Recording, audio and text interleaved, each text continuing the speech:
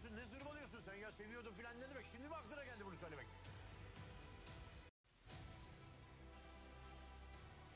Kendini onun yerine koy oğlum. Biraz anlamaya çalış onu ya Biz bu resmin içinden çıkamayız. Engel olacak. Bu evlilik asla olmayacak. Ben yaşadığımızdan pişman değilim. Yaşayamayacak olduklarımız için üzgünüm. Keşke başka hayatta tanışsaydık. Çok taşlar yerinden oynayacak.